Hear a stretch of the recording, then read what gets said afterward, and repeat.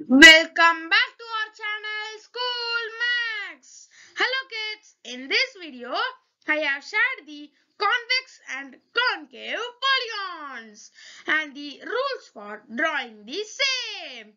Let us start. First you have to understand the interior and exterior surface. I have given a shape highlighting the interior and exterior surface. Let us see some examples for convex polygons. The shapes are rectangle, triangle, hexagon, heptagon and rhombus. The next set of shapes are concave polygon.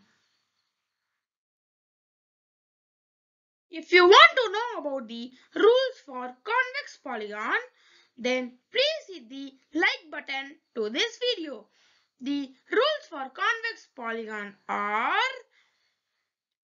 First rule, no portion of their diagonals will touch their exterior surface. Second rule, line segment joining any two different vertices lies wholly in the interior of it. If the mentioned rule does not match the shapes, then it is concave polygon. Hope you have understood the difference between concave and convex polygons. Thank you for watching this video.